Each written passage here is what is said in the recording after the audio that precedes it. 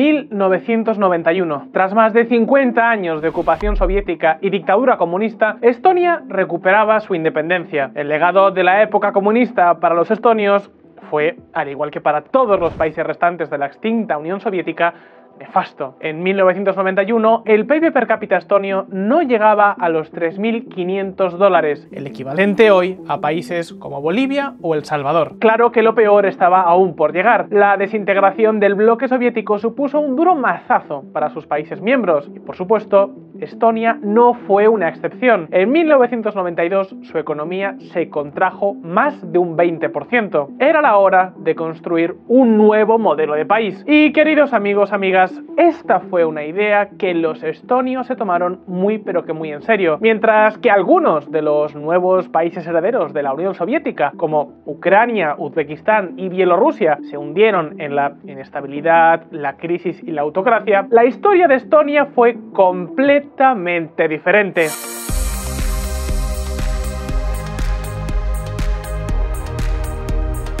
Estonia es hoy uno de los países más prósperos de todo el mundo. Su potencial es inmenso y su nivel de vida no deja de mejorar. En 2020, el PIB per cápita ajustado por la diferencia de precios de Estonia se aproximó a los 40.000 dólares, algo que le ha permitido ya superar a países como España.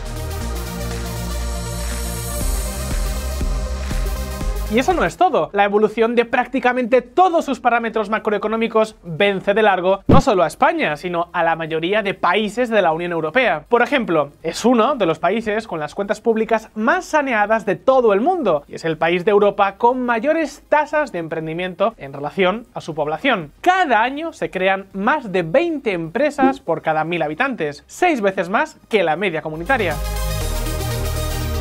Queridos amigos, amigas, Estonia se ha convertido en el país de los emprendedores europeos, algo así como un pequeño, eso sí, gélido, Silicon Valley en plena Unión Europea. Pero dicho esto, la pregunta es, ¿cómo demonios han logrado semejante evolución en tan poco tiempo? ¿Qué esconde el modelo estonio? ¿Cuáles son los ingredientes de su éxito?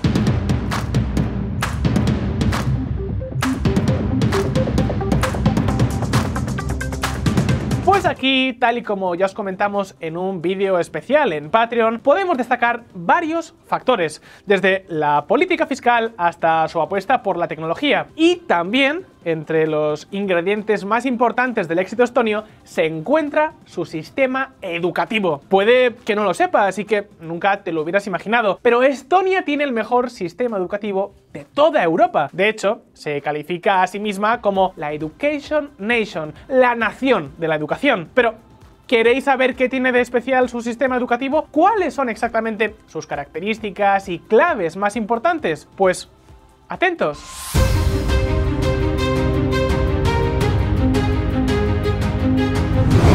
Más importante el cómo que el cuánto. El éxito del modelo educativo estonio no es una opinión, es algo acreditado por todas las instituciones dedicadas a evaluar los diferentes sistemas educativos, incluido, por supuesto, el informe PISA. En PISA, Estonia está literalmente no solo a la cabeza de Europa, sino de todo el mundo. Tras Singapur, este pequeño país báltico es el país que mejor calificación obtiene en las tres competencias básicas, lectura, matemáticas y ciencia. Y no solo eso, Estonia también tiene el mayor porcentaje del mundo de estudiantes con alto rendimiento académico que provienen de familias pobres y la menor diferencia en resultados entre el entorno rural y el entorno urbano. La menor tasa de estudiantes sin educación básica, apenas un 5%, y una de las tasas de repetición de cursos más bajas de toda la OCDE. Y es que apenas el 3,5 de los estudiantes de hasta 15 años repiten alguna vez, frente a la media del 12,4%. Por si fuera poco, también se coloca la cabeza en cuanto a dominio de lenguas extranjeras.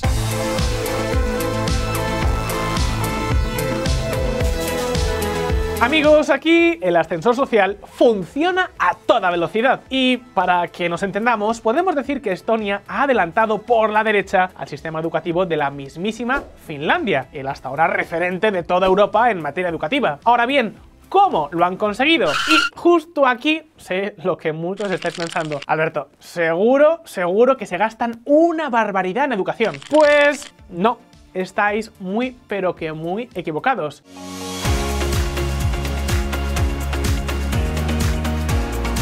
Sí, Estonia hace un importante esfuerzo en educación, pero el gasto público por alumno no es ni de lejos el más alto de la OCDE, ni siquiera si ajustamos el gasto por la diferencia de precios y salarios. De hecho, hay muchos países con un gasto por alumno muy superior y que sin embargo obtienen resultados mucho peores. ¿Queréis un ejemplo? Pues sin ir más lejos, España. Fijaos. Ya lo veis, a pesar de cosechar holgadamente los mejores resultados educativos, Estonia no es ni de lejos el país que más gasta en educación por alumno. De hecho, su nivel de gasto se sitúa bastante por debajo de la media de la OCDE y de la Unión Europea, incluso si tenemos en cuenta la diferencia de precios. Lo cual nos lleva directamente a una idea que creo que conviene repetir. No, señores políticos, no. Gastar más en educación no es la receta simple del éxito. Si fuera tan sencillo, sería, mm, no sé, muy fácil, ¿no os parece? Bastaría con gastar más y más para obtener mejores resultados. Pero la realidad, sin embargo, es totalmente diferente. Esto no va de cuánto se gasta, sino sobre todo de cómo. Así que por favor, políticos y periodistas de todos los colores y partidos, dejad de una vez por todas de utilizar el mantra del dinero.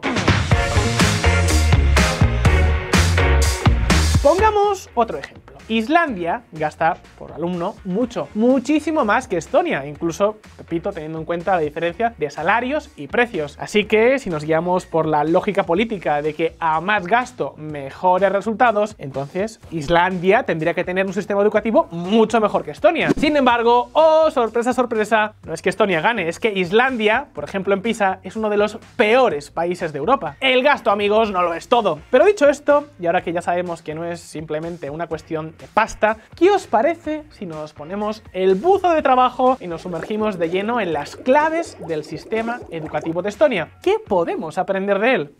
Atentos.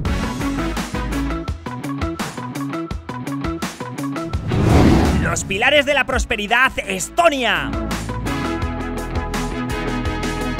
Querida comunidad de VisualPolitik, resetead vuestra mente durante un buen rato porque el modelo educativo del que os vamos a hablar seguro seguro que tiene poco que ver con lo que hayáis visto hasta ahora. Vamos a hablar de un modelo educativo que extrañamente no está subordinado a intereses políticos, sino a las necesidades de capital humano que tiene el mundo moderno, incluyendo por supuesto el mundo de la empresa y el emprendimiento. Espera, espera, un momento. ¿Un sistema educativo diseñado para que los estudiantes puedan encontrar un trabajo de alta cualificación rápidamente al terminar sus estudios? De locos. Pues sí, no nos hemos equivocado. En Estonia la educación se ha situado como uno de los ejes clave sobre los que pivotan los planes económicos del país. Ahora bien, ¿en qué se diferencia exactamente el modelo educativo estonio del de otros países? Pues veréis, la primera clave la podemos encontrar en la independencia. Independencia tanto de escuelas como de profesores.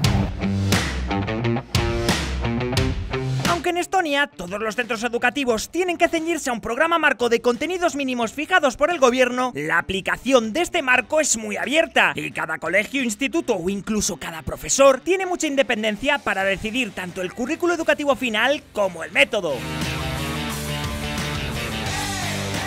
Y creedme si os digo que tanto centros como profesores son los primeros interesados en que todo esto funcione. Entre otras cosas, por el modelo estonio dual de financiación pública de la educación. Espera, espera, ¿modelo qué? ¿Qué diantres es eso? Pues veréis, en Estonia, la educación privada es testimonial, residual, anecdótica. Sin embargo, lo cierto es que los centros educativos públicos están sometidos a un intenso modelo de competencia.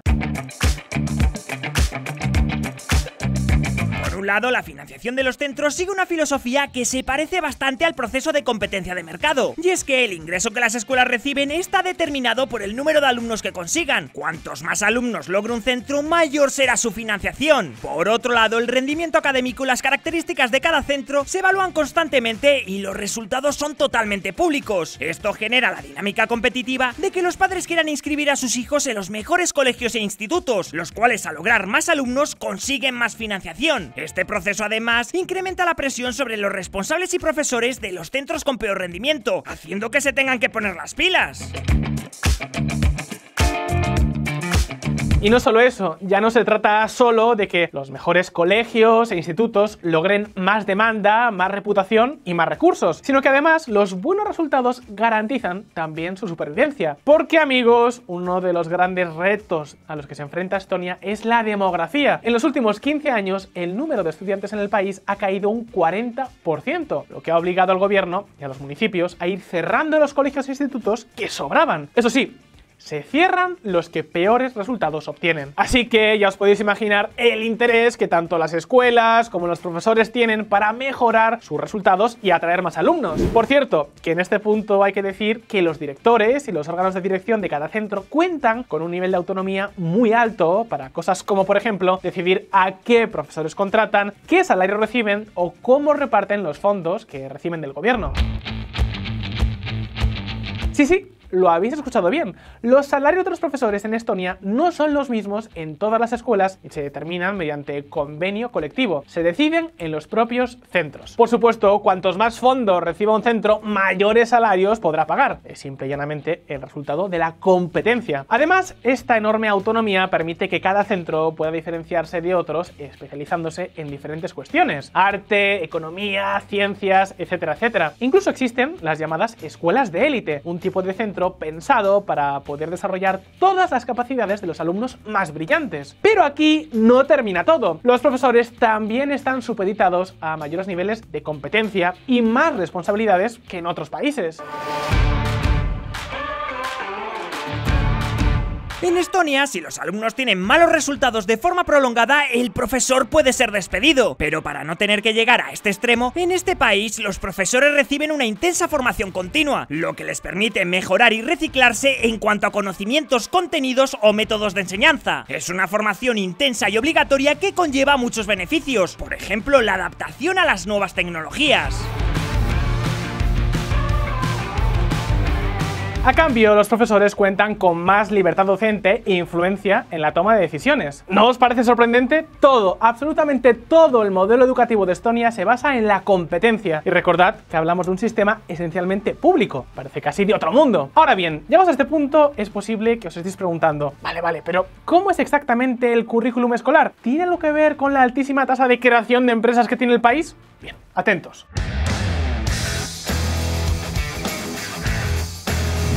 Codo con codo hasta el éxito final. Lo mencionamos ya al principio del vídeo, el modelo educativo de Estonia está orientado sobre todo a la empresa y a la preparación para el mundo laboral. Por ejemplo, en el diseño de los programas académicos participan tanto representantes de la sociedad civil como de las propias empresas. Pero esa no es la única vía de colaboración. Tanto la educación secundaria como la educación terciaria cuentan con amplios programas de prácticas laborales que permiten que los estudiantes estonios accedan al mercado laboral con algo de experiencia. En este sentido, Estonia ha apostado muy fuerte por incluir las prácticas de trabajo en la educación vocacional, que sería el equivalente a la FP aquí, a la formación profesional, y también en los másteres universitarios. Y ojo que no hablamos del típico mes de prácticas. Estos programas contemplan que las prácticas laborales supongan hasta el 50% de las horas de formación. Pero al margen de la colaboración con empresas, podemos destacar otra característica muy particular. Los estonios están obsesionados con la igualdad en la etapa educativa. Y no hablamos de una igualdad entendida como hacer que todos consigan el título, sino que todos tengan las mismas condiciones, sea cual sea su entorno socioeconómico. Es decir, igualdad de oportunidades, no de resultados. Esto supone que en Estonia no solo la educación está pagada por el Estado, incluida la universidad, sino también los libros de texto e incluso el comedor. Los estudiantes de educación obligatoria tienen comida gratis en la escuela. Además, todos los alumnos hasta los 19 años tienen una cobertura sanitaria gratuita, así como enfermeras en los colegios de primaria, chequeos médicos rutinarios gratuitos y dentista gratis. La idea fundamental es que sea cual sea su nivel socioeconómico, todos los estudiantes puedan tener las mismas oportunidades. En fin, competencia, especialización, integración con la empresa e igualdad de oportunidades en un país con poca burocracia y bajos impuestos. No está nada mal, ¿no os parece? Por supuesto, no todo es perfecto. Y aunque el sistema educativo de Estonia ha demostrado ser hoy por hoy el mejor de toda Europa con mucha diferencia, todavía tiene algún que otro reto. Sobre todo 2. La escasez de profesores de materias específicas y la mejora en el rendimiento educativo de los estudiantes de etnia rusa.